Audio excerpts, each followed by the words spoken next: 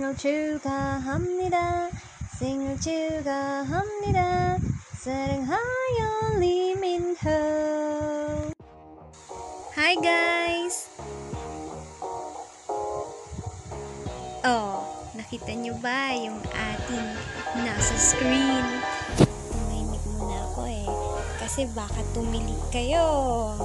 Oo, si Lee Min Ho. K-pop agent. Di, actually, siya ay isang South Korean actor. At ngayong araw ay ang kanyang kaarawan.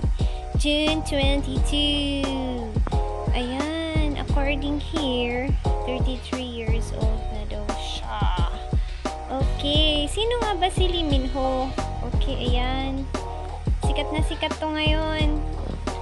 Okay, hindi lang siya actor, singer din daw siya, model, significant following worldwide, including Asia and Western countries, most notably the US, France, Australia, Canada, Spain, and Italy. Ganun pala siya kasikat.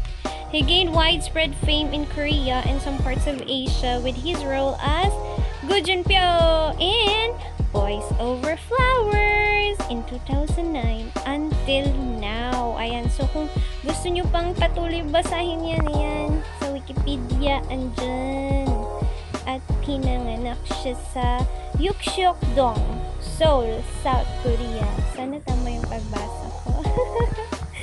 Shout out po dyan kay Mr. Ryan Bang na aking favorite na Korean na sa Pinas. Ayan, la, shout out ko lang. Movies, Gangnam Blues, Bounty Hunters, Our Schools, E.T., Get Out Public, Actually, kasalukuyan ko pong pinapanood yung The Legend of the Blue Sea kasi hindi ko yung napanood noon. Super busy ako noon sa aking career nung pinapalabas to. Nasa Dubai pa po ako noon. Yan, Boys Over Flowers. Napanood ko din yan. City Hunter and the Ears. Of course, napanood ko din yan. Ito yung bago! The King Eternal! Yuhuu! Kung gusto nyo rin. Sige lang. Ayan, yung mga nakapartner niya. Ah, no, no. Hindi niya nakapartner, sorry. okay, ayan siya. So, single chick ka, hamnida. Single chick ka, hamnida. Limin ho. Oh, ano, natulala ka. Gwapo kasi. ayan siya, oh. So guys, hanggang dyan muna ako.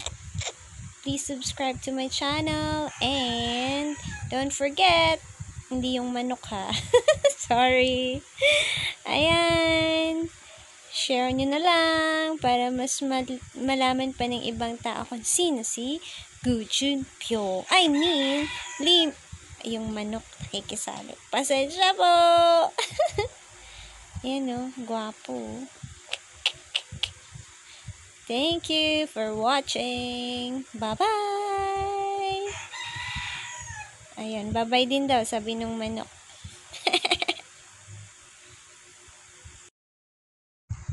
Single chuka hamnida!